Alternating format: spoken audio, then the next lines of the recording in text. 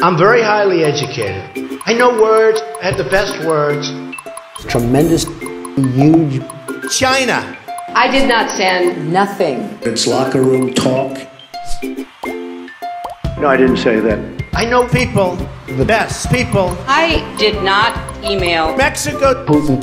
ISIS, crooked Hillary. No, I didn't say that. In this election, memory loss may have been rampant, but one thing that should never be contested or forgotten is your vote.